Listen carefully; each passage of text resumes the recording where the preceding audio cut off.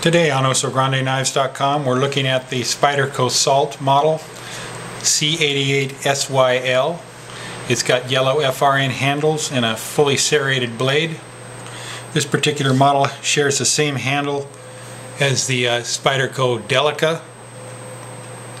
It's got bright yellow FRN handles with a volcano grip pattern and a titanium pocket clip which is mountable on either side for right or left hand carry.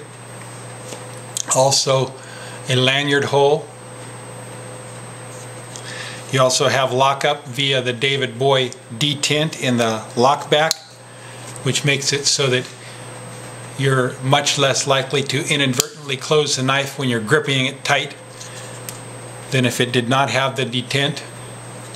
It has an oversized round hole for easy opening and the blade steel is the Spyderco H1 rust-proof stainless steel which uses nitrogen instead of carbon so it can't rust.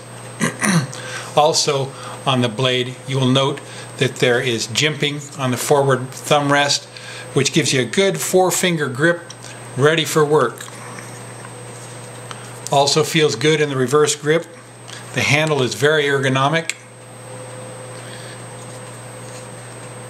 The overall length on this model measures 7 inches. Closed is 4 inches.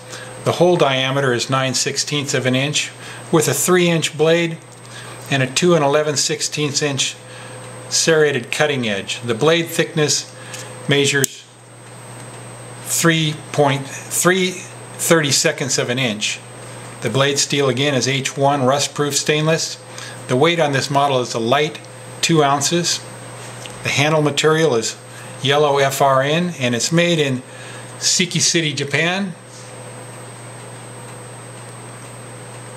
If you're looking for an excellent EDC knife for use around marine environments or river rafting, any type of aquatic environment, the Salt model is an excellent choice. Buy it now at osograndeKnives.com and thank you for watching.